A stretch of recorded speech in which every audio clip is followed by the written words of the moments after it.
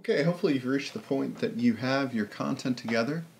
It's tagged with all the terms that you'd like to filter on. So what we want to do next is actually to create the view that we'll use to filter the content. So we've got our content listing here, it should match up with the tutorial. We'll go ahead and create the view. We want to create a block since we're going to actually attach this to each individual node. So as we start here, you can see that we have our seven nodes that we created. And what we want to do is actually filter the nodes that are queried based on the terms that are on the node we're currently looking at. And we can do this with a contextual filter. In fact, the first contextual filter we'll want to add is the one that relates to taxonomy. So hit Add Contextual Filter, start typing in taxonomy. We'll see choices as it relates. The one we want to use, since we have a pretty sim simple taxonomy, It's actually just the simple taxonomy term ID.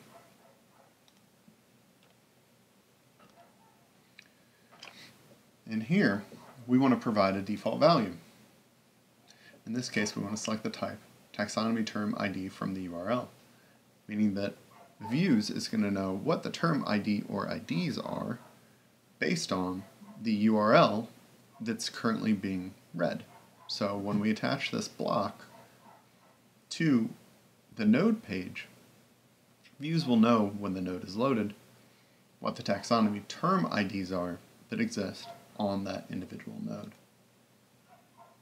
In fact, Views even gives you, once selecting this, a bit of a nudge that says it's good for related taxonomy term blocks. So let's go ahead and swap over to that choice. And we know we want to limit our vocabulary since we don't want to show nodes that are related to other taxonomies. We only want to use our transit vocabulary, which is the vocabulary that contains our two terms, motored and wheeled. We also know from our requirements that we want to filter to items that share any term. In other words, we don't want to require that if we're looking at something that contains two terms, that the related content also contains the exact same two terms. We want to see content that shows or contains or relates to any of the terms that are on a particular node. We also know that if a node contains multiple terms that relate to the current node, we don't want to show the node multiple times in our related content section. There's an option down here that says reduce duplicates. It works perfectly for what we want to achieve there. And we'll want to make sure to allow multiple values. So let's go ahead and look, take a look at our content and how it's coming together already. I've loaded the train, and as you can see, it has both motored and wheeled.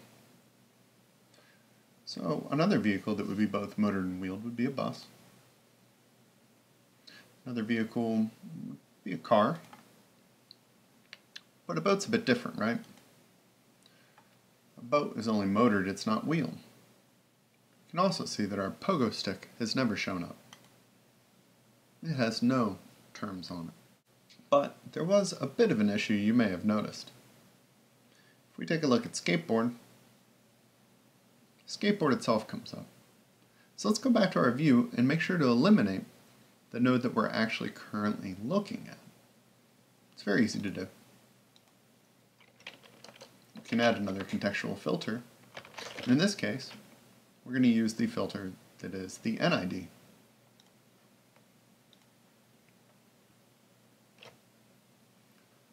And what we want to do is provide a default value very similar to a taxonomy term information based on the URL, but this time we're going to use the content ID. So now views will know what the node ID, or as it's being called here, the content ID, based on the URL is of the currently viewed node. There's actually a great option under the more options here that is called exclude. It's perfect.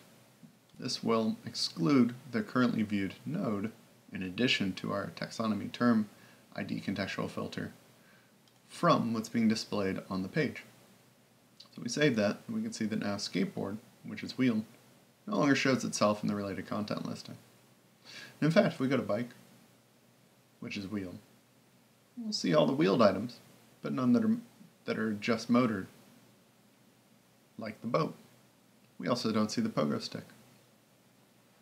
So reviewing what our requirements were. Related content should not show the current node. It should show nodes matching any term. And it should not contain any duplicate nodes. So when we look at bike, which is tagged with wheel, we only see nodes that are also tagged with wheel. But if we look at train, which is both motored and wheeled, we don't see multiple instances of other nodes that are both motored and wheeled.